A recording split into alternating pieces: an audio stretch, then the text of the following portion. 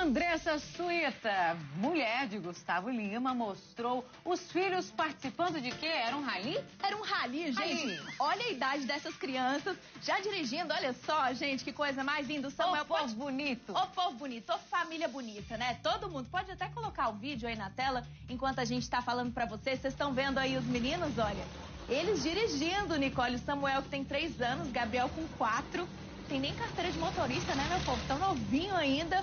Mas, ó, já estão dirigindo esse carro aí, sabe quanto? Quanto? 24 mil reais cada um, cada carrinho desse aí é um bugzinho, né?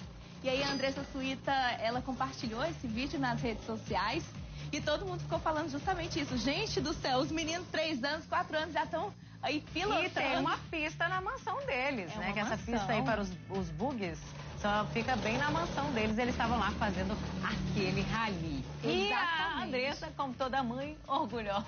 Orgulhosa da Babona, habilidade. A habilidade dessas crianças. Gabriel e Samuel. Esses bugs, eles são equipados, tá, gente? Que fique claro aqui antes de É, alguém falar, ai, que irresponsáveis e tal. São equipados para esse tipo de esporte. Então eles estavam ali com a segurança, pelo menos é o que eu espero. Tá com capacete?